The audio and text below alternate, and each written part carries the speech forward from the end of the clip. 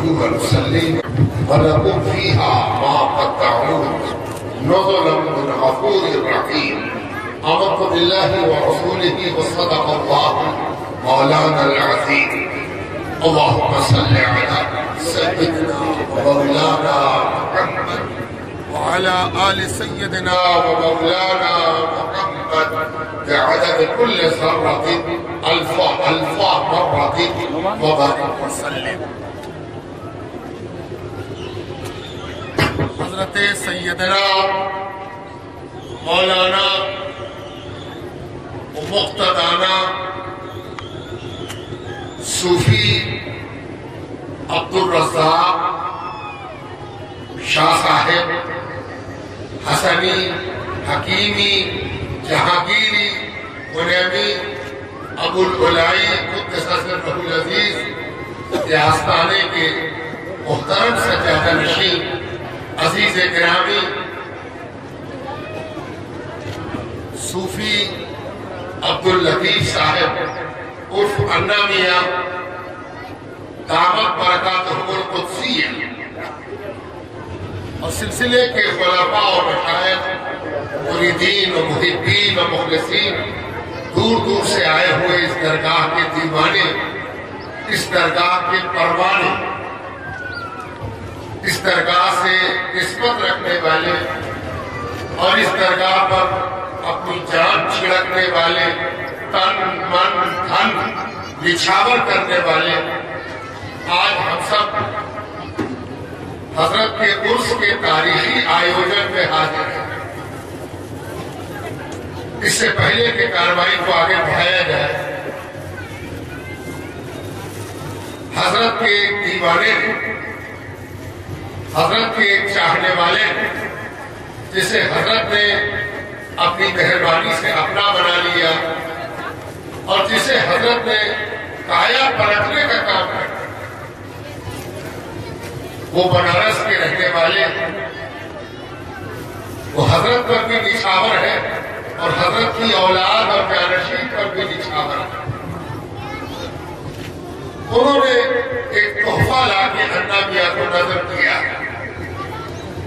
सरकार तो आलम सैयद कुल सरवर आलम मोहम्मद वसल्लम की ये शान थी। आपकी ये सुन्नत है कि जब कभी कोई तोहफा ला के देता तो आप उसको कबूल करते। पहनने की चीज़ लाता तो सरकार पहन लेते। खाने की चीज़ लाता तो सरकार खा लेते। बांटने की चीज़ लाता तो सरकार बांट देती इसीलिए खानकाहे सरकार आलम की सुन्नत का सबसे बड़ा मरकज। याद रहे खानकाहे क्या है?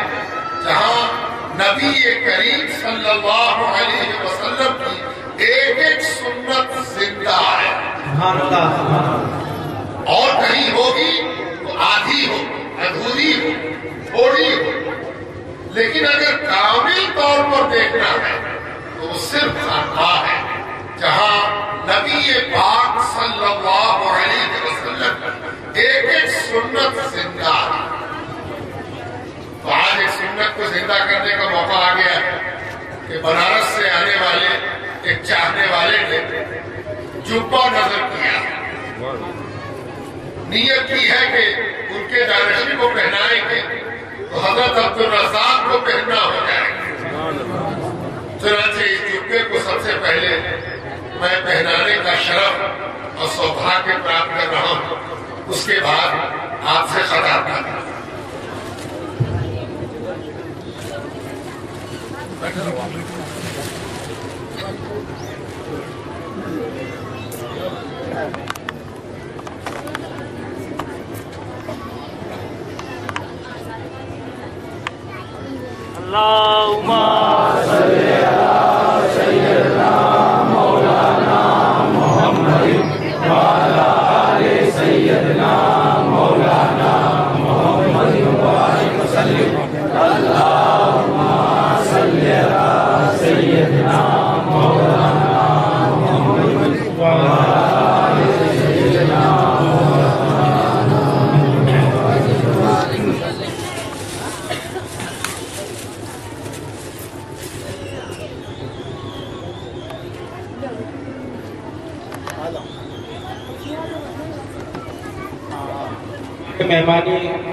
खसूसी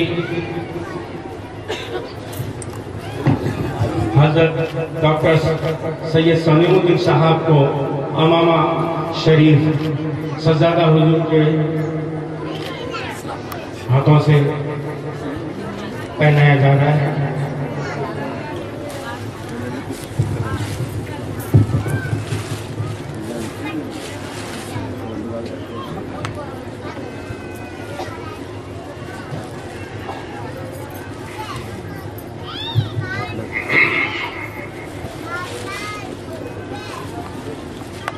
जैसा कि आप जानते हैं कि हम और आप सब उर्स की मजलिस में हाजिर हैं हम आज अपनी गुफ्तगु को सूफियों के मसलक सूफियों के तरीके और सूफियों के विधान, क्या है वो क्या चीज़ है जो सूफियों के पास है, दूसरों के पास नहीं है? सूफी क्या देते हैं? सूफियों के पास दुनिया क्यों है? सूफी एक क्षमा की तरह क्यों चलते हैं, जिस पर लोग परवाने की तरह गिरते हैं? सूफी एक नलके की तरह, झरने की तरह क्यों होता है? कि जहाँ पर नलका गिरता है, वहाँ पर चारों तरफ़ से हरियाली सिमट आता है। पानी के गिरने की पहचान है कि वहाँ हरियाली जमा हो है। अगर पानी गिर रहा हो और हरियाली न हो, पानी के होने पर प्रश्न चिन्ह है। सूफी क्या है? इसको समझने के लिए सबसे पहले एक सवाल आज आप देखोगे कि सारी दुनिया में कहा जाता है, किताब और सुन्नत। किताब और सुन्नत। हर जमात ये दावा करती है कि मेरे पास है किताब, मेरे पास है सुन्नत। जिस जमात के साथ आप चले हैं कोई भी जमातों में नाम लेना नहीं चाहता। वो आपको इसी हवाले से अपने करीब करेगी। कि मेरे पास कुरान है, यानी किताब है, और सुन्नत मेरे पास, हदीस मेरे पास है। लेकिन आप बताओ, सब नमाज़ पढ़ाएँगे, सब रोजा रखवाएँगे, सब सकात निकलवाएँगे सब हज कराएँगे। लेकिन अगर उनसे पूछ दो कि वो आशिकी कहाँ है, जो नबी के दरबार में पाई जा रही थी, और नबी के सहाबा एक तक नबी को या तो देखते रहते थे या देखने की तमन्ना करते थे। आशा करते थे। सुबह करते थे तो नबी को देख कर करते और उनकी रात की परिभाषा यही थी कि नबी से दूर हुए तो रात हो गई और नबी से करीब हुए तो सुबह ये मोहब्बत किसके पास है? हदीस पाक में आता है कि सहाबा अपने नबी के हुजूर में इस तरह बैठा करते थे, जैसे कि उनके सरों पर परिंदे यानी चिड़िया बैठे आप तो जानते हो कि चिड़िया अगर किसी चीज़ पर बैठती है तो उसको ये इत्मीनान होता है कि ये चीज़ हिलेगी नहीं। हिली नहीं, कि चिड़िया उड़ी। यानी चिड़िया ये सोच कर बैठती है कि या तो ये निर्जीव है, इसमें जीवन नहीं है, या फिर ये मेरे लिए बिल्कुल खतरे का बायस नहीं है। तब बैठती है चिड़िया। क्या मजाल की चिड़िया किसी चीज़ पर बैठ जाए और सहाबा मिसाल देते हैं कि हुजूर के पास, सल्लल्लाहु अलैहि वसल्लम के पास जब सहाबा बैठा करते थे तो ऐसा बैठा करते थे, जैसे कि मानो के, कल्पना करो, जैसे कि उनके सरों पर चिड़िया बैठी हो, और वो सांस भी लेंगे तो चिड़िया उड़ जाए। ये अदब सिवाय सूफियों की बारगाह के कहा नज़र आए एक साहबी हुजूर सल्लल्लाहु अलैहि वसल्लम की खिदमत में उनकी अहलिया वो साहबिया हुजूर से मर्द भी मुरीद होते हैं, औरतें भी मुरीद होती हैं। साहबी कौन है? जो सबसे बड़े पीर के मुरीद है। और रसूल कौन है? जो सब पीरों के पीर है। पीराने पीर के भी पीर है। वो है रसूल अकरम, सरवर कायनात, सैयद कुल, सल्लल्लाहु अलैहि वसल्लम। तो वो माई हुजूर सल्लल्लाहु अलैहि वसल्लम के करीब आई और उसने अपने छोटे से, नन्हे से बच्चे को, जिसकी उम्र मुश्किल से दस साल रही हो हुजूर के सामने पेश किया और कहने लगी, या रसूल अल्लाह सब आपके पास कुछ लेके आते कोई ना कोई चीज़ आपको लाकर भेंट चढ़ाते हैं, नज़र करते हैं।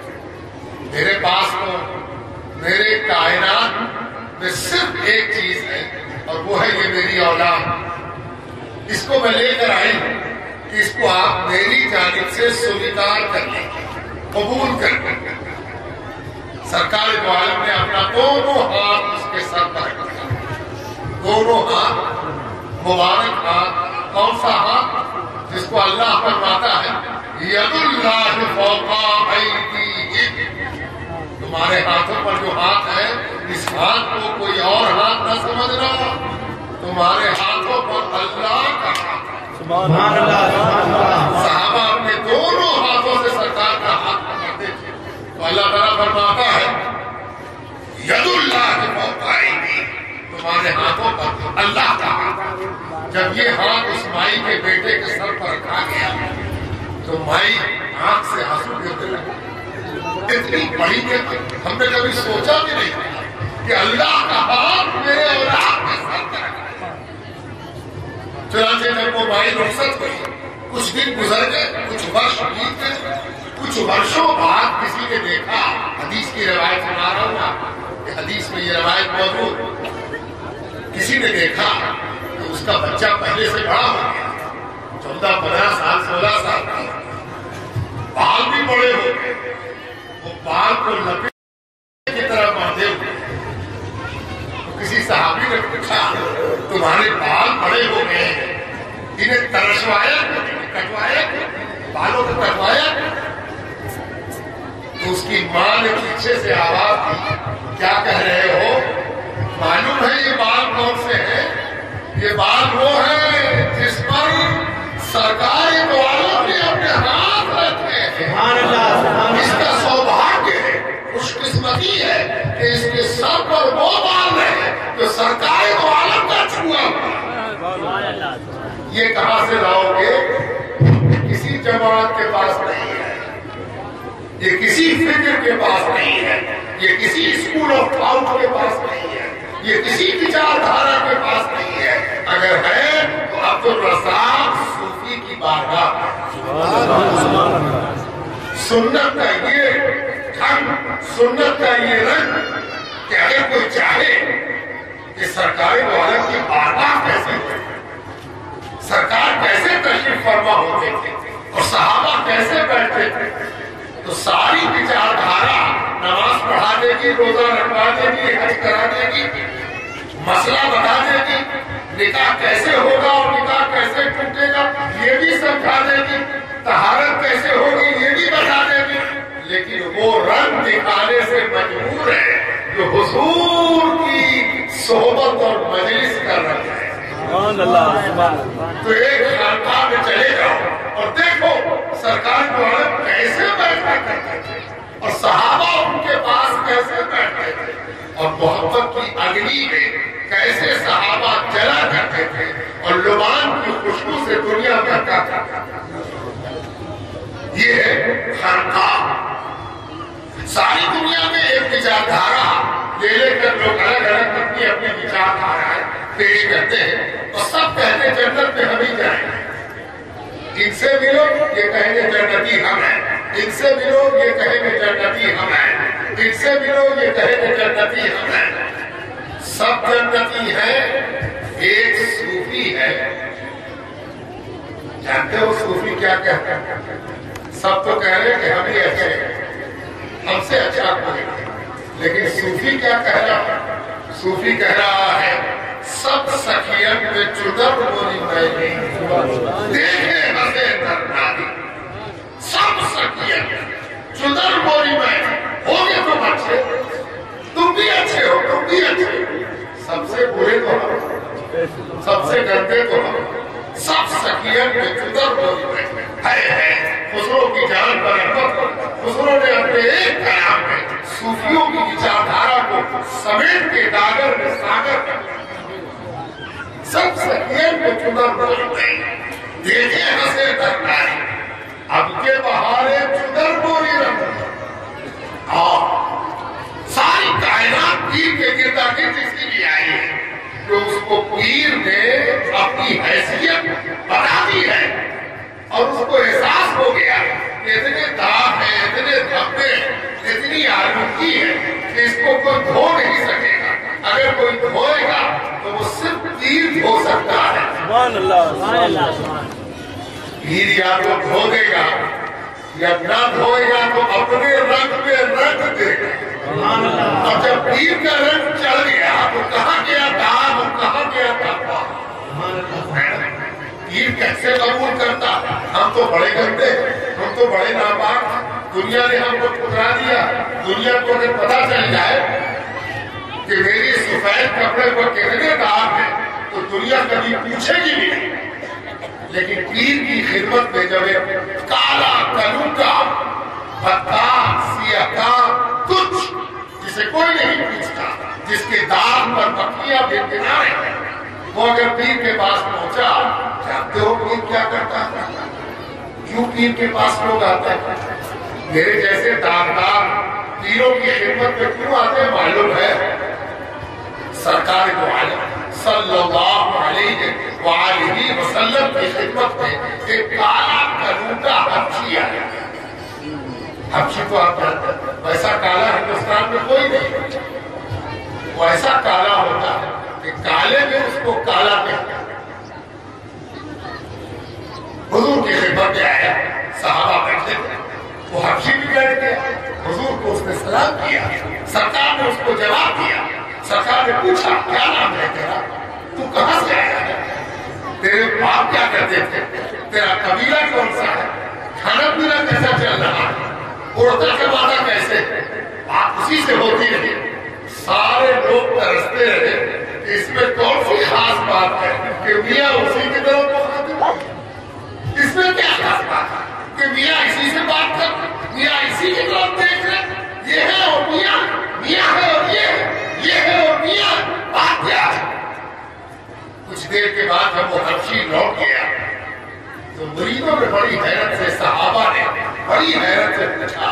या रसूल अल्लाह उस काले करूटे में कौन सी खास बात है कि आप मुसलसल उसी की तरफ़ को तवज्जो रहे तवज्जो चाहता हम सब अपने पीर की बारगाह, उस काले करूटे से भी ज़्यादा काले होकर हाजिर आए क्या कहा सरकारी सल्लल्लाहु अलैहि वसल्लम ने फरमाया, तुमने उसमें चमकते हुए दांत नहीं देखे। हाँ। चमकते हुए दांत नहीं देखे पता चला कि सारी दुनिया नकारात्मक देखती रही पीर ने सकारात्मक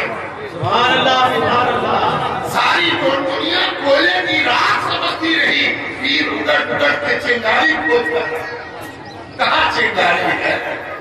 सबने राख जाना पीर ने चिंगारी निकाल के दिखा दिया देखो राख देखो क्या हुआ?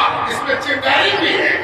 ये शोला बन सकती है, ये ज्वाला बन सकती है, ये प्रकाश पुंज बन सकती है, ये रोशनी का मीनार बन सकती है, ये रोशनी के लिए मरकज हिदायत बन सकता है ये है पीर, जो राख में से चिंगारी निकाल देता है इसीलिए राख इसके पास आती है कि छुपी हुई चिंगारी, अगर पीर का हाथ लग जाए तो राख किनारे हो जाए और चिंगारी हो जाए। काहे आते हैं लोग क्यों भीड़ लगती है। क्या वजह है यहाँ आने की? ये बिल्कुल अलग स्कूल ऑफ़ थॉट किसी स्कूल ऑफ़ थॉट से इसको कोई मतलब नहीं। मैं उदाहरण देती हूँ मिसाल देती हूँ। आप ज़्यादा हिंदी समझते हो, इसलिए मैं कोशिश कर रहा हूँ कि आपकी भाषा में अपनी बात रखूँ। आज जो आपके सामने मसलक नज़र आता, ये हनफी है, ये शाफी है, ये मालिकी है हम्बली है और भी बहुत से नाम है, सब नाम आप जानते हो। नए लोगों का नाम लेने से मैं जरा जानते हो आप, इनमें आपस में कैसा झंझट और इख्तलाफ है एक जमाना बीत गया। कोई हनफी तैयार नहीं है। किसी शाफई के पीछे नमाज़ पढ़ने कोई हनफी तैयार नहीं है। किसी शाफई का सबिहा एक दूसरे पर एतराज़ और एक दूसरे पर तनकीद, और एक दूसरे पर टीका टिप्पणी करते थे सैकड़ों बरस बीत कोई फिरका ऐसा नहीं है जिसका आपस में दूसरे फिरके से झगड़ा न हो सिर्फ़ एक स्कूल ऑफ़ आउट, एक तबका ऐसा जिसे हम सूफी कहते हैं। सूफी? सूफियों में विभिन्न विचारधारा के लोग कोई कादरी है कोई चिश्ती है कोई सोहरावर्दी कोई फिरदौसी है कोई नक्शबंदी है कोई है कोई ओवैसी है कोई जाहिदी है कोई शाजली है कोई अबुलाई है कोई मुजद्दी है लेकिन आज तक कभी ऐसा नहीं हुआ कि किसी पादरी से किसी चिश्ती ने मुँह मोड़ लिया। किसी नक्शबंदी से किसी चिश्ती ने झगड़ा कर लिया। कभी नहीं ये दुनिया का अकेला स्कूल ऑफ़ आउट है जो अलग रह के भी एक रहना सिखाता आपको मैं मिसाल दे ये जो गुल्ला है आलिम, किताबें पढ़ते हैं। मदरसे में जाके किताब पढ़ते हैं आलिम बनते हैं। इल्म का जो फ़ायदा होना चाहिए, वो फ़ायदा उन्हें नसीब होता है कि नहीं, इसकी एक मिसाल दें। अगर किसी आलिम से पूछा जाए कि आप तो कव्वाली नहीं सुनते हैं, आप तो कव्वाली समा नहीं सुनते हैं, फला सुनते हैं तो उनके बारे में आपकी क्या राय है? आप क्या सोचते हैं उनके बारे में? क्या कहेंगे मौलवी साहब? क्या कहेंगे आलिम साहब? जानते हो कहेंगे कि वो हराम काम करते हैं। वो गलत काम करते हैं। अच्छा काम नहीं करता यह है आलिम। सूफी से पूछा गया कि आप तो नक्शबंदी हो, समा नहीं सुनते कबाली नहीं सुनते, अन्नम यह सुनते हैं। सूफी अब्दुल रजाक सुनते थे। सैयदना महबूब मुनीब बागबाज सुनते थे। हज़रत शाह अब्दुल हई जाटानी सुनते थे।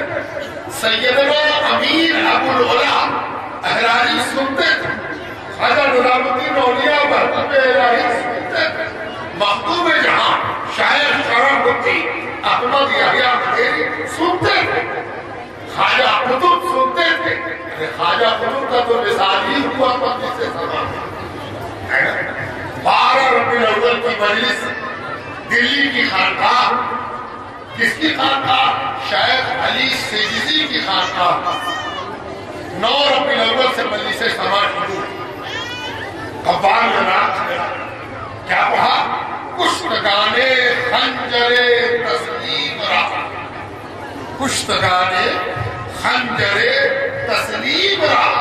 हर जमान अजगैर जाने दिगर। यानी क्या कहा ये अहमद जाम का शेर है। ये खुद बहुत बड़े अहमद जाम कहते हैं, जिसमें पीर की में पीर की अताअत पीर की फरमा बरदारी पीर की बात मानने। तो पीर की बात मानना क्या है? कभी कभी पीर की बात मानना ऐसा होता है, जैसे खंजर से गला कटा मन चाह रहा है कि सो जाते पीर कह रहा तो यही खड़े रहता हमने सोने को किनारे कर दिया पीर के हुक्म के मुताबिक खड़े हमको ये चीज़ बड़ी अच्छी लग गई पीर ने कहा, इसे हाथ न लगाना। अब मन लगा दो पीर कहता है, मत लगाओ। हाँ।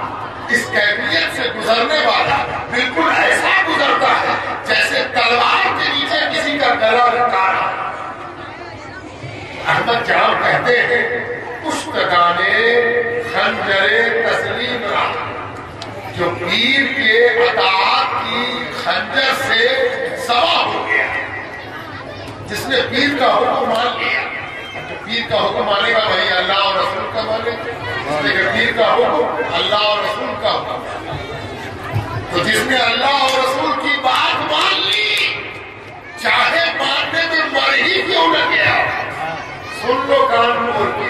पीर की बात सुनने में जो मर गया, उसको हर लम्हा, उसको हर पल अल्लाह की जानिब से एक नया जीवन मिलता है। हर जमान अजगैर जाने दीगर। हर वक्त एक नई जान मिल रही है। उसने एक जान को पीर की राह में लुटाया है और हज़ारों जान उस पर निसार। तो ख्वाजा कुतुब कबाली सुनते थे। ख्वाजा खाजना सुल्तानुल हिंद।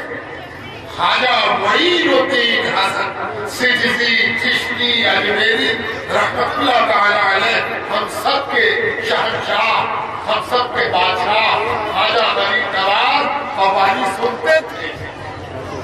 तो जब नक्शबंदी से कहा गया कि चिश्ती कव्वाली सुनते अबू लुलाई कव्वाली सुनते फिरदौसी कव्वाली सुनते तो उस नक्शबंदी ने कहा मैं इनकार बिल्कुल कर, इनकार बिल्कुल। मैं तो कव्वाली नहीं सीखता लेकिन सुनने वालों का इनकार भी नहीं करता ये सूफी है। अब सूफियों की एक मिसाल और देखो।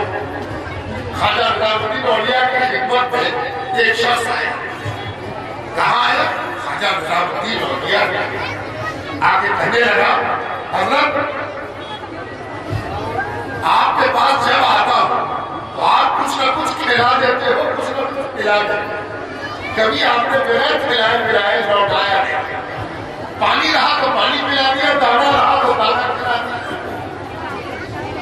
खाजा औलिया ने कहा हाँ असल में खानकाह में इस अमल को एक हदीस से लिया गया है। कि हुजूर सल्लल्लाहु अलैहि वसल्लम ने फरमाया, मन सारा हैयत वलम यरजुक मिनहु शैअन फकअन्नमा सारा हुजूर सल्लल्लाहु अलैहि वसल्लम ने फरमाया, जो किसी जिंदे से मिलने को जाए और वहाँ कुछ चखे नहीं। चाहता मौलवी लोग ये हदीस नहीं सुनाएँगे, ये खानका ही सुना सकती है। जब किसी जिंदे से मिलने को जाए और वहाँ पर चखे नहीं तो उसने गोया मुर्दे से मुलाकात उसने गोया मुर्दे से मुलाकात की। हम इनको ज़िंदा इसलिए भी कहते हैं कि यहाँ आने वाला बगैर कुछ चखे नहीं जाता। एक ज़िंदा वो होता है जो खाता है और दूसरा ज़िंदा वो होता है जो खिलाता है।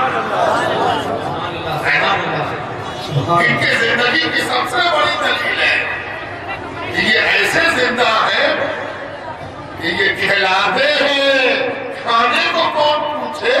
ये तो खिलाते हैं। सुभान अल्लाह सुभान अल्लाह तो खाजा निजामुद्दीन औलिया फरमाते हैं खानकाहों में इस हदीस पर अमल है कि जो मिलने को आया वो अगर खुद चख के न जाए तो मुर्दा से मिलने को आया। इसीलिए हम खिला देते हैं ताकि ज़िंदगी पर सबूत मिल जाए। उस आदमी ने फ़ौरन कहा देखो सूफियों का मसलक दिखा रहा सूफियों की सोच बता रहा सूफियों की परिपाटी दिखला रहा सूफी कैसे सोचता है? सूफी की विचारधारा क्या है? सूफी की फ़िक्र क्या है? इसको वाजह किया हजर रामुद्दीन औलिया ने जब ये कह दिया तो उस आदमी ने कहा, हुजूर, एक बात और थी। कहा, बोलो। कहा, हज़रत दिल्ली में एक और बुज़ुर्ग है, बाहर से आए हुए हैं। अभी दिल्ली में ठहरे उनका नाम है शायद रुकनुद्दीन मुल्तानी। ये कौन है? खाजा बहाउद्दीन सकरिया मुल्तानी के पोते बहुत बड़े बली वो दिल्ली आए हुए थे उस जमाने उस आदमी ने कहा, हुजूर, जब मैं उनके पास जाता हूँ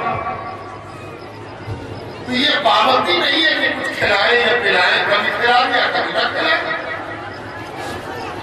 तवज्जो चाहते एक पीर के सामने दूसरे पीर का तस्करा। एक पीर को कहा गया आप हमेशा खिलाते हो। दूसरा पीर कभी खिलाता है, कभी नहीं खिलाता। अब सूफी का जवाब सुनो। खाजा मुजाफरी रौलिया ने फरमाया, मैं साहिरी आदमी हूँ, इसीलिए साहिरी लोकमा खिला देता हूँ। वो साहिब बातिन है। वो साहिब बातिन है। वो बातिनी लोकमा आते हैं। सुभान अल्लाह सुभान अल्लाह। पीर से पीर का ताल्लुक देखो। आज अगर आपके सामने किसी दूसरे का तस्करा छेड़े और उसमें कमी दिखाई जाए तो हम आप उसको और बढ़ा और बढ़ा हाँ हम क्या पिलाएँगे? वो क्या पिलाएँगे? वो ठीक नहीं है वो गलत है। लेकिन सूफी दूसरे सूफी का दुश्मन नहीं है। वो सबका दोस्त है। वो सबसे दोस्ती करता है। वो सबकी अच्छाई बयान करता है। वो बुराई ढाक देता है अच्छाई निकाल देता है। इसीलिए सूफी तालीम देते हैं शिक्षा देते हैं दीक्षा देते हैं तो कहते हैं भलाइयों के गवाह बनना बुराई का गवाह न बनना किसी की बुराई की गवाही मत देना, अच्छाई की गवाही देनी पड़े तो ज़रूर देना एक सूफी से पूछा गया, इनके बारे में आपकी क्या राय है? नमाजी है? ये नमाजी है? एक सूफी से पूछा गया कि क्या वो नमाजी है? सूफी ने कहा, हर जुमे को इनको देखता पाँच बाप का तस्करा नहीं किया। देखते थे बिना देखते। क्या कहा? जुमे को इनको देखता। हूँ फरमाते हैं, अगर तुम दूसरों की भलाइयों की गवाही दोगे तो अल्लाह कयामत के रोज तुम्हारे भलाई के गवाह पैदा कर देगा। जो तुम्हारी भलाई की गवाही अब इतनी बात तो आपने सुन ली। अब सुनिए कि सूफी दूसरी विचारधारा के लोगों के साथ क्या करते हैं। सूफी की खानकाह में कभी नाम नहीं पूछा जाता, कभी जात नहीं पूछी जाती, कभी धर्म नहीं पूछा जाता, कभी विचारधारा नहीं पूछी जाती। दरवाज़ा खुला हुआ, लंगर खाना खुला हुआ। सूफी का लंगर खाना इस बात का पूरा ध्यान रखता है कि कोई भी आ जाए, वो इस लंगर खाने में खा सके। ऐसी चीज़ पकाई जाए जो सबके काम आए। किसी को कोई घेरना ना हो किसी को कोई परेशानी ना हो। सूफी अपने लंगर में इसके बारे में विशेष रूप से ध्यान देता अब जरा दो तीन मिसालें देखें। एक दो उदाहरण देखें। खाजा अल्ताफुद्दीन औलिया रहमतुल्लाह अलैह एक रोज बावली में नहाने गए। आपको तो मालूम है, अल्ताफुद्दीन की बारगाह में बावली है, अगर पीछे के दरवाजे से आप जाइए, या सिरहाने तरफ़ के दरवाजे से जाइए, पहले बावली मिलती है, तब दरगाह। पौड़ी में खाजा अल्ताफुद्दीन औलिया वसूल कर रहे मुरीद भी वसूल कर रहे मुरीद साथ साथ इसलिए रहता है कि पीर चले तो चलना सीख जाए पीर रुके तो रुकना सीख जाए पीर खाए तो खाना सीख जाए पीर लेटे तो लेटना सीख जाए पीर गुस्सा करे तो गुस्सा सीख जाए और पीर माफ़ करे तो माफ़ करना सीख जाए सुभान अल्लाह सुभान अल्लाह मौली में खाजा निजामुद्दीन औलिया स्नान कर वसूल कर मुरीद भी वसूल कर तो सब मुरीद वसूल भी कर रहे हो पीर को देख भी रहे कैसे नहाते नहाने का क्या था हमें इससे कोई मतलब नहीं है कि इन्होंने नहाना कहाँ से सीखा। मेरे लिए यही काफ़ी है कि हम वैसे ही नहाते हैं, जैसे पीर नहाते इसीलिए मुरीद से जब कोई मसला पूछे, कौन मसला के होगा, कौन विचारधारा के हो कभी कोई और नाम न ले। क्या कहे? मेरा विचारधारा, मेरा मसलक सूफी अब्दुल किसी को नहीं हमें किसी से कोई मतलब नहीं। हमने किसी का नाम नहीं सुना। हम तो एक ही का नाम सुना। हम किबला रास्त करतम और सिर्फ़ एक बुलाए हमने टेढ़ी टोपी वाले को देखा था तो अपना किबला उसी को बना लिया था। हम किसी किबले को नहीं ये सूफी का मसला सूफिया का इजमा है। सूफी इसके अलावा कहीं जाते हैं। सूफी वही है जो पीर पर मर बैठे तो पीर ने नहाने का काम किया तो भी रहा एक मुरीद ने देखा फिर सबकी नज़र पड़ी कि ख्वाजा निजामुद्दीन औलिया अपनी हथेली को पानी में ले गए और कोई चीज़ बाहर निकाल देखने वालों ने देखा कि एक बिच्छू है बिच्छू। है। बिच्छू। पता नहीं आप क्या कहते हैं? बिच्छू। बहुत खतरनाक काला ऐसे उसके अंदर विष डंक मारे तो जिसको डंक मारे उसके अंदर विष उतार छटपटा के आदमी ऐसा शैला बिच्छू ख्वाजा निजामुद्दीन औलिया की हथेली पर ऐसे सामने आए पता चला कि बिच्छू की एक टांग टूटी हुई इसीलिए बिच्छू तैर नहीं पा रहा था डूब रहा था उसको मौत के संकट में देखकर ख्वाजा निजामुद्दीन औलिया ने बाहर निकाला जैसे ही वो बाहर निकला उसको एहसास हुआ अब मौत नहीं है जीवन है ज़िंदगी है तो अपना काम शुरू किया, उसको निकाला, डर अब मारो उसकी प्रवृत्ति है डर उसकी आदत है, उसका नेचर है, उसकी प्रकृति है डर। उसने अपनी प्रकृति के अनुसार डंक मारने के लिए डर निकाला तो खाजा ने छोड़ दिया छोड़ा तो फिर डूबने लगा जब देखा कि डूब रहा है, संघर्ष कर रहा, जीने के लिए मेहनत कर रहा खाजा ने फिर बाहर। जैसे ही वो बाहर निकला, फिर उसने डंक निकाला खाजा ने छोड़ दिया, फिर डूबने लगा। एक मुरीद ने कहा हाँ बाप, भाई बाप, हीरो इसको क्यों आप निकाल रहे हो? ये जब निकलेगा डंक मारेंगे छोड़ दो डूबने खाजा ने कहा हाँ इसको मैं इसलिए ये अपनी प्रकृति नहीं छोड़ रहा ये तो सुनो इसकी प्रकृति है डंक मारना मेरी प्रकृति है जान बचाना। तो जब ये अपनी प्रकृति नहीं छोड़ रहा तो मैं अपनी प्रकृति कैसे ये सूफी। सूफी किसको कहते हैं? इसका पता चल रहा? और सूफी और ख्वाजा गरीब नवाज़ ये हिंदुस्तान में सूफिया का और सूफी सोच सूफी विचारधारा का ऐसा वर्णन इससे पहले किसी किया नहीं तो ख्वाजा गरीब नवाज़ ने किया। राजस्थान को ये सौभाग्य प्राप्त है कि वहाँ इस पूरे उपमहाद्वीप का सबसे बड़ा सूफी लेकर ख्वाजा गरीब नवाज़ ख्वाजा गरीब नवाज़ से जब किसी ने पूछा था कि सूफी कौन है, वली कौन है ख्वाजा ने कहा था वली वो है सूफी वो है जिसमें तीन विशेषता पाई जिसमें तीन गुण पाए गए। जिसमें तीन एडजेक्टिव जमा हो जाए वो वली है। पूछा गया वो कौन? कहा वली वो है कि जिसका व्यक्तित्व सूरज के मानित हो जाए। कि जब सूरज निकलता है तो नाम पूछकर प्रकाश नहीं देता धर्म पूछकर गर्मी नहीं देता।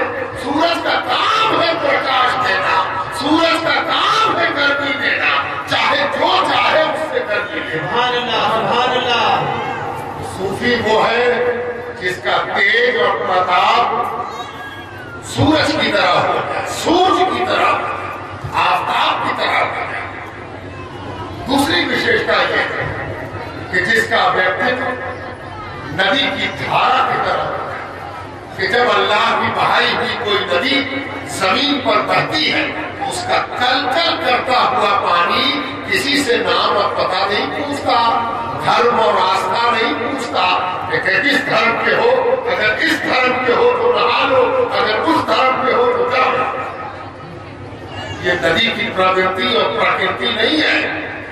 तो जिसके अंदर नदी रूपी विशेषता पैदा हो जाए वो बली हो गया।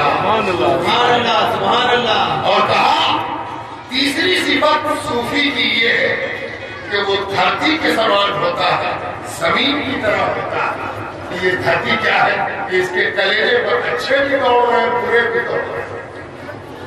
ज़मीन ने कभी ऐसा नहीं कहा कि तू बुरा है ला उसको गिरा। नहीं। अच्छा और बुरा। आस्तिक और नास्तिक। अल्लाह को मानने वाला और अल्लाह को न मानने वाला नास्तिक। वो भी ज़मीन पर दौड़ा जा रहा और कलेजा तान के कह रहा कहा है अल्लाह? अल्लाह है। उसको भी ज़मीन संभाले हुए। तो सूफी वो है जो अपनों को भी संभाले रहे बेगाने को भी संभाले रहे। जिसका शरीर हल्की ऊपी हो जाए वो सूफी और जानते हो ये जो सूफी है, इनके यहाँ सबकी लाज क्यों रखी जाती है? सब पर मेहरबानी क्यों की जाती है? उसकी एक वजह है। हदीस में आया है अलहम व अल्लाह के जितने बंदे हैं, जितनी मखलूक है, अल्लाह की जितनी मखलूक है, सब अल्लाह का कुटुंब है। कुटुंब परिवार। कौन है? परिवार है अल्लाह। काला हो या गोरा हिंदू हो या मुसलमान हो सिख हो या ईसाई, आस्तिक हो या नास्तिक हो, सब अल्लाह का परिवार और कुटुंब है। तो जो अल्लाह से दोस्ती करेगा वो उसके परिवार से दुश्मनी करेगा सूफी अब्दुल रजाक का दम भरे और अन्ना मियाँ से मुख टेढ़ा करे, ये हो सकता है? ये तो यजीद कर सकता है। कि रसूलुल्लाह का कलमा पढ़े और इमाम हुसैन को कत्ल करा। यजीदियत अलग चीज़ है और हुसैनियत अलग चीज़ है। दोनों अलग अलग विचारधारा है। सूफी वो है जो हुसैनी विचारधारा वाले तो ये सूफियों का मसला आज जिस बली के हम दरवाजे पर हाजिर हज़रत सैयदना सूफी अब्दुल रजाक रहमतुल्लाह तआला अलैह कुछ विशेषता है।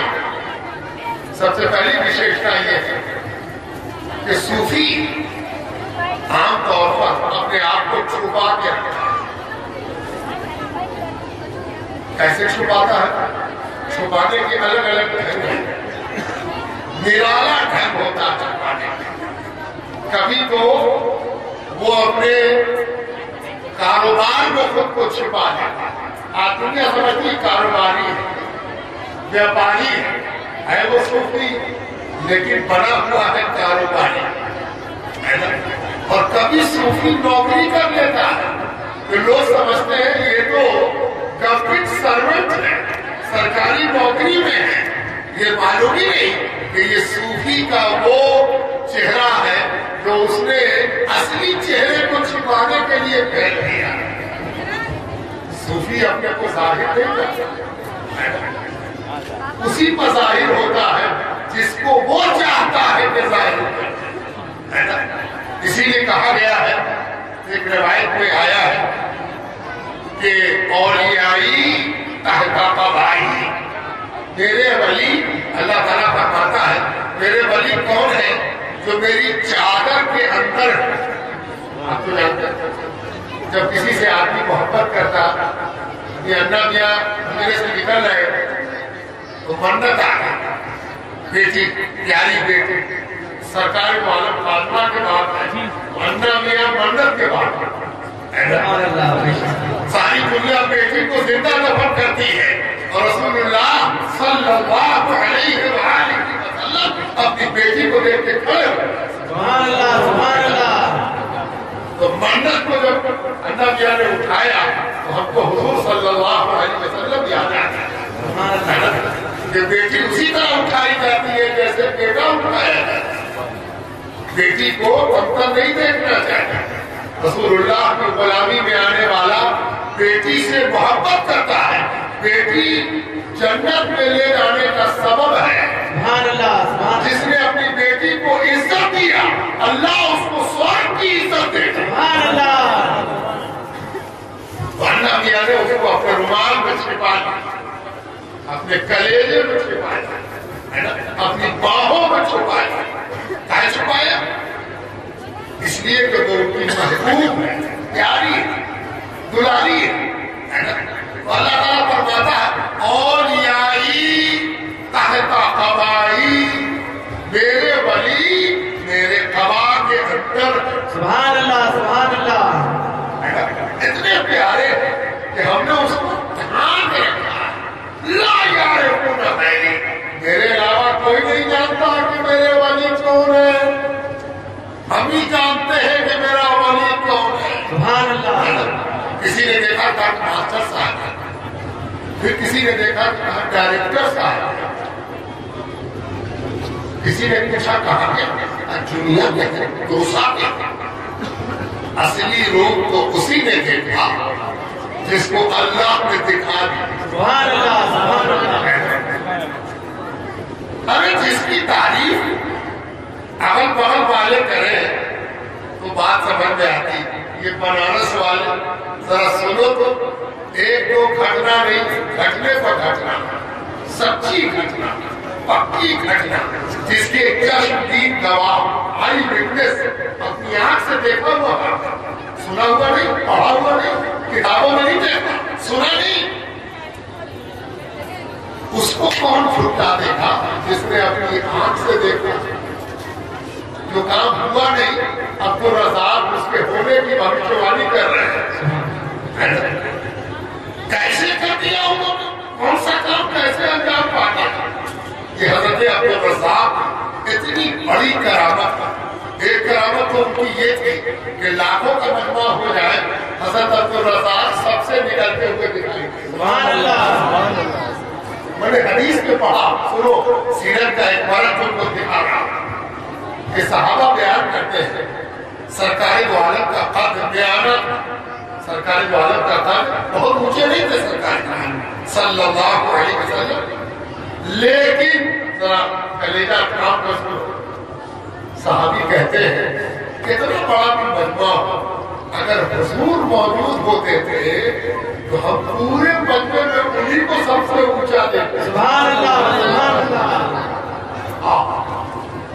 सुभान और दूसरी हदीस सुनो कि सहाबा कहते हैं हुजूर सल्लल्लाहु अलैहि वसल्लम जब चला करते थे और हम उनके साथ होते थे तो हजूर की चाल नॉर्मल होती थी। लेकिन उनके साथ चलने के लिए हम लोगों का दम। ऐसा चला करते सल्लल्लाहु अलैहि वसल्लम कि तो नॉर्मल चल रहे हैं और हम लोग साथ चलने के लिए दौड़ रहे हैं तब भी पीछे। सूफी अब्दुल रजाक साहब को जिसने देखा कितना बड़ा भी मजमा हो अब्दुल रजाक सबसे निकले। जब वो चलते थे तो उनके आपने पता नहीं देखा कि मैंने तो देखा, मेरे तो हर साल उनके हाथ में बड़ी मोहब्बत के साथ, बड़ी अकीदत के साथ, बड़ी शफकत के साथ। आते, ठहरते रुकते हाजिर होते, चादर पेश करते, दुआ पढ़ते, सलाम पढ़ते खानखा में कुछ खाते, फिर इजाज़त तलब करते। अब जाए, इजाज़त दीजिएगा तो जाए तब रुखसत ये सूफी अब्दुल रजाक जिन्होंने वहाँ अपना कदम पहुँचाया, जहाँ कोई दूसरा सूफी नहीं पहुँच सका। गली गली पूजा पूजा बस्ती, ठेले पर बैलगाड़ी पर पैदल। ये सरकारी ऑफिसर, जिसको सब दुनिया सरकारी ऑफिसर समझती नहीं वो खुदाई ऑफिसर बनते चढ़ सुभान अल्लाह सुभान अल्लाह वो खुदाई खिदमतकार बन के चढ़ा उसने ऐसी खिदमत और ऐसी सेवा का माहौल बनाया कि जो देखा अगर बदकिस्मत था तो खुशकिस्मत।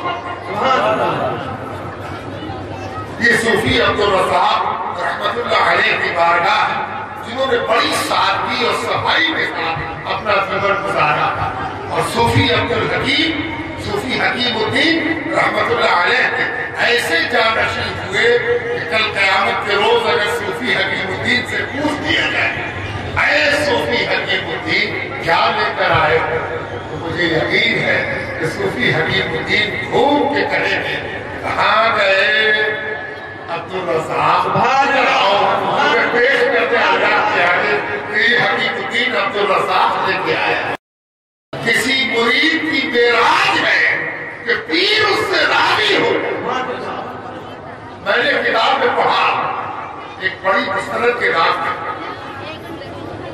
कि एक बड़े सूफी ने लिखा है कि पीर के खुश होने और पीर के नाराज़ का फ़ायदा और नुकसान, यानी पीर अगर खुश है तो क्या फ़ायदा होगा और पीर अगर नाराज़ है तो क्या नुकसान होगा? ये तब समझ में आएगा जब पीर दुनिया से चला पीर के सामने ज़ाहिर नहीं पीर जब दुनिया से चला जाएगा तब देखना कि अगर तुमसे खुश किया है तो क्या होगा। और अगर खुदा ना खास के अल्लाह नाराज़ चला गया तो क्या?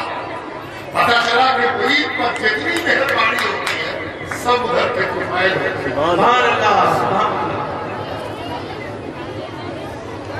मैं कभी कभी सोचा करता हूँ अपने बारे में सोचा करता मेरे पास तो कुछ नहीं तो आप जैसे नेक लोग मेरी इज़्ज़त क्यों करते हैं?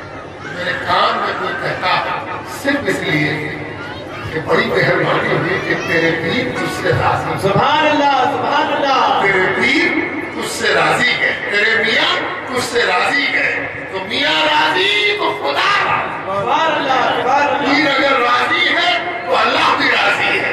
और पीर माज अल्लाह अगर नाराज़ हो गया तो दोनों जहान में कहीं नहीं इसीलिए कुरान में कहा गया मोबाइल रसूल फकत आता अल्लाह। जिससे रसूल जिस किसने रसूल की फरमा बरदारी कर ली उसने खुदा बुज़ुर्गों दोस्तों और दो वाकया और सुनाकर बात खत्म करते ये जो इतने लोग हाजिर आते हैं ये किस उम्मीद पर आते हैं? क्या है इनकी उम्मीद? किस उम्मीद पर किस आशा पर यहाँ आते आप तो जानते हैं, कोई भी तकलीफ़ करे आपसे। भाषण दे खताब करे, संबोधन करे आपसे। और वो बताए कि कयामत कैसे होगा, आखरत कैसे होगा। निज़ाम चढ़ेगी पुरसरार होगा, फरिश्ते सवाल पूछेंगे, जवाब देना पड़ेगा सब सुनते सुनते एक आदमी खड़ा हो और कहे कि हुजूर क्या मदद करेंगे मेरी हुजूर सबको बता दिया कि हुजूर कयामत में आप कुछ मदद कीजिए तो मौलाना पसीना कुछ में कहेंगे, ना ना ना सबको अपनी मदद आप करनी पड़ेगी। सबको अपनी मदद आप करनी लेकिन अगर पीर से कोई पूछे कि हुजूर कयामत क्यों हो पीर क्या कहते हाँ सुनो, तवज्जो चाहता पीर कहते हैं, अगर वहाँ मेरी लाज रह गई, अगर वहाँ मेरी लाज रह गई, तुम में से किसी को न छोड़ो। पीर कहते हैं, अगर वहाँ मेरी लाज रह गई तो तुम में से किसी को न छोड़ो। जो अगर लगा के कहा अगर ये बड़े होने की दलील है झूठा होगा तो अगर नहीं लगाया। अगर इसलिए लगाया कि फरिश्ता तो उतर के कह रहा है कि लाज आपने की है। लेकिन फरिश्ते के कहने से क्या होगा? जिस दिन लाज वाला कह देगा कि तेरी लाज है उस दिन में कहेंगे आ जाओ सब मेरी लाज के सर पे तुम सब पाओ सुभान अल्लाह सुभान अल्लाह ये बात आसानी नहीं है। ये बात हल्की नहीं है। ये बात मामूली नहीं है। आज से सात सौ साल पहले एक बड़े मुहद्दिस मुहद्दिस कहते जो हदीस का सबसे बड़ा आलिम है। और जो हदीस का आलिम है, वही कुरान का आलिम है, वही तफसीर का आलिम है, वही फिका का आलिम है। सबसे बड़े मुहद्दिस ने जानते क्या कहा? कहने लगे मुहद्दिस कि मेरी उम्र सत्तर बरस से ऊपर हो गई सत्तर साल से ऊपर का बूढ़ा हो गया।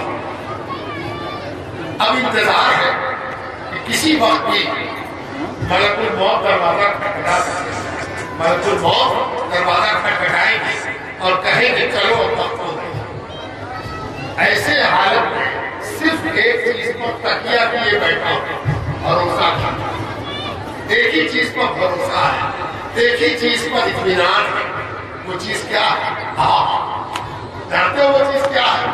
कहते हैं मुहद्दिस साहब एक ही चीज़ पर भरोसा, किसी चीज़ पर भरोसा नहीं।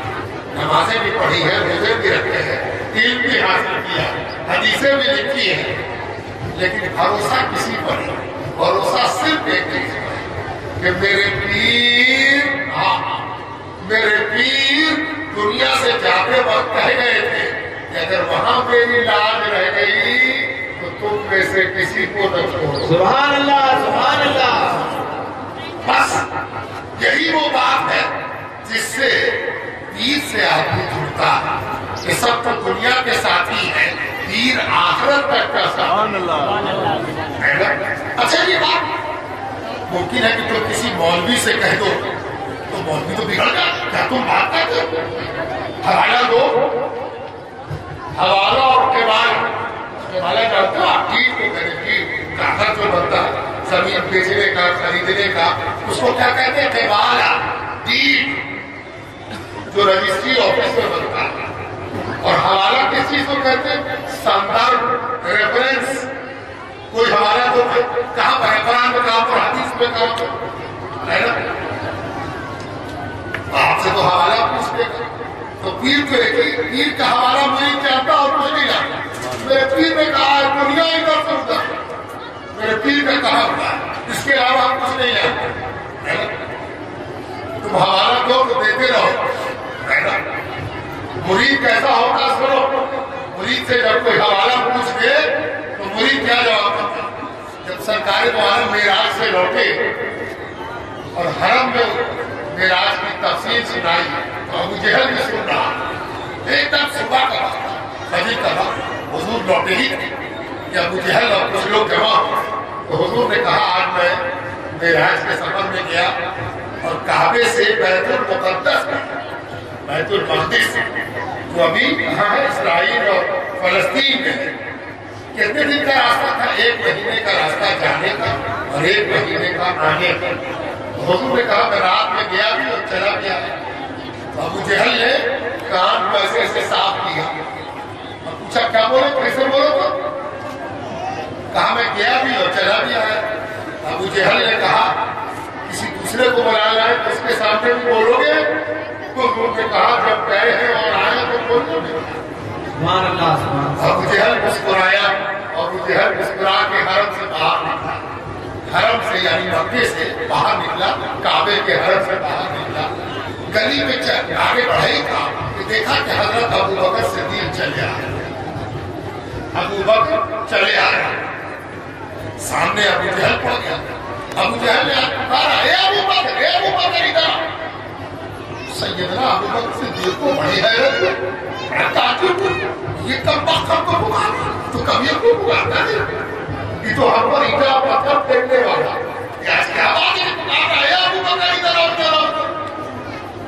है है। कहने लगा, जानते हो तुम्हारे पैगंबर ने आज क्या कहा? जानते हो तुम्हारे पैगंबर ने क्या कहा? तो हज़रत अबू बकर सिद्दीक कहते हैं, अभी तो मैं जा ही रहा हूँ खिदमत में।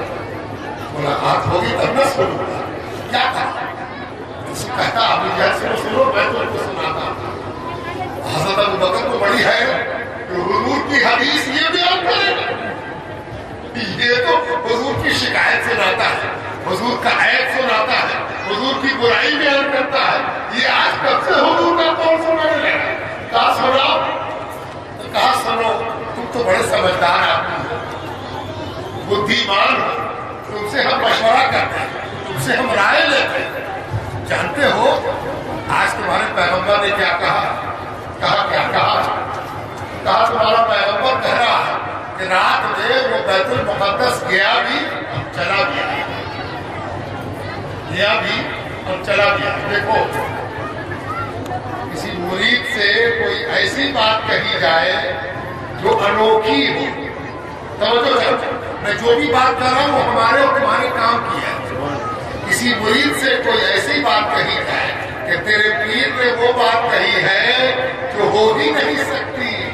नामुमकिन है हो भी कैसे एक महीने का रास्ता और गए भी और चले भी आए एक बात और समझ में आ गई कि अबू जहल मेराज को सपना नहीं समझता था।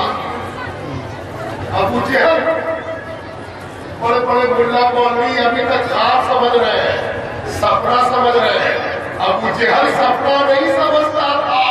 अगर सपना समझता तो ये सवाल क्यों करता? है ना?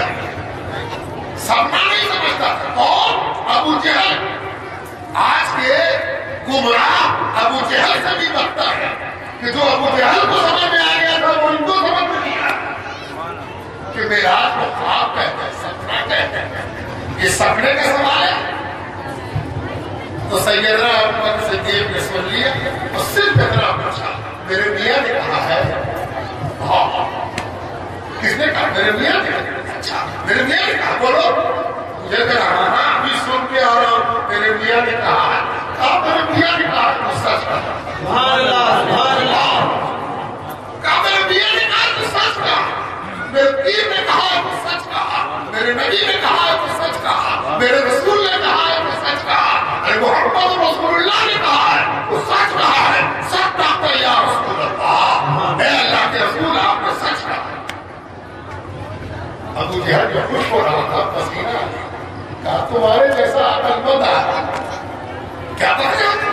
हो एक महीने का रास्ता और वो गया भी और चला गया और तुम कह रहे हो सच का हज़रत अबू बकर मुस्कुराए। इस बात पर मुस्कुराए, इसकी बेचारगी पर मुस्कुराए। कितना बेचारा है? मेरे मियाँ को क्या क्या हम न जानते हैं कि मेरे मियाँ क्या है। तुम क्या जानते हो कि मेरे मियाँ क्या है? अबू जहल के सामने हज़रत अबू बकर सिद्दीक मुस्कुरा रहे हैं और अबू जहल अंदर से पक रहा कहा, तुम बोल कहा हाँ हम बोल रहे कहा, कोई दलील? सैयदना अबू बकर कही सुनो। कहा, मैं तो अपने मियाँ से आसमान की बात सुन के ईमान लाता हूँ। जन्नत कहाँ है? आसमान में। दोजख कहाँ है? हमारे बीच में ऐसी शख्सियत जो हम सब के लिए प्रेरणादायी मोटिवेशन देने वाली होल्डर में आपके पिछले साल के इस के पर खिताब करते हुए कुछ खुसूसी बातें के लिए मोटिवेशनल है प्रेरणादायी ज़िक्र किया गया है। अल्लाह है। हम सब हैं।